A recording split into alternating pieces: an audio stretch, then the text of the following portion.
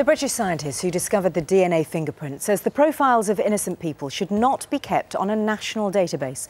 Professor Sir Alec Jeffreys, who discovered the process 25 years ago today, is calling for a change in the law governing the storage of DNA from people arrested in criminal investigations. Claire Marshall has this report. Knighted for his discovery, Professor Sir Alec Jeffreys still works in the same laboratory in Leicester University, now overseeing the work of the next generation.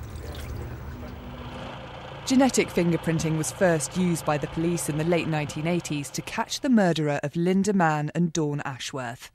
This first ever mass screening led to the conviction of Colin Pitchfork. But Professor Jeffreys is concerned about the amount of genetic information currently being stored.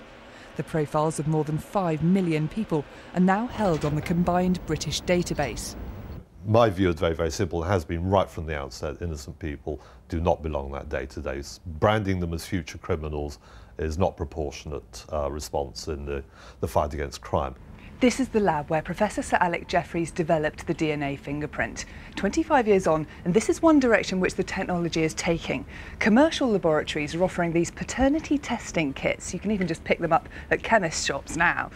You take out the swab, get a little bit of a sample from the inside of your cheek, put it in this envelope and send it away. You can get the results within a week, or if you pay a bit more, even by the end of the working day. As more and more people choose to get their own genetic profiles, concerns about storing and protecting such sensitive information will only grow. Claire Marshall, BBC News.